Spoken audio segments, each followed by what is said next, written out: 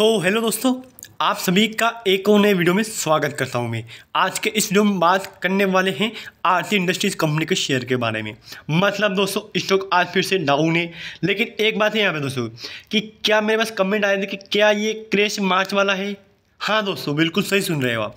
ये बिल्कुल जो क्रेश हुआ ना मार्केट में तीन दिन पहले, दो दिन पहले, वो पूरा मार्च वाला था। लेकिन फिर अभी भी आपको दोस्तों, सिर्फ़ और सिर्फ़ संकेत मिला है। संकेत मिला दोस्तों, उसमें आपको डाउन गया आपका स्टॉक हर एक स्टॉक डाउन गया है। लेकिन फिर भी बात दोस्तों, काफ़ी अच्छा खासा रैली आपको देखने को मिल रही है।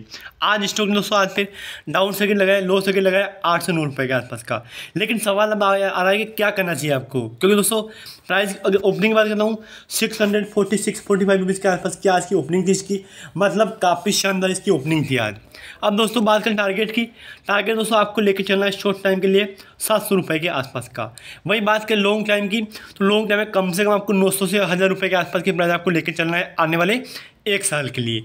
अगर दोस्तों, आप इसमें इन्वेस्ट कर रहे हो रिसर्च कर ले स्टडी कर ले, अपने एडवाइस एडवाइस लेके बाई होल्ड करें।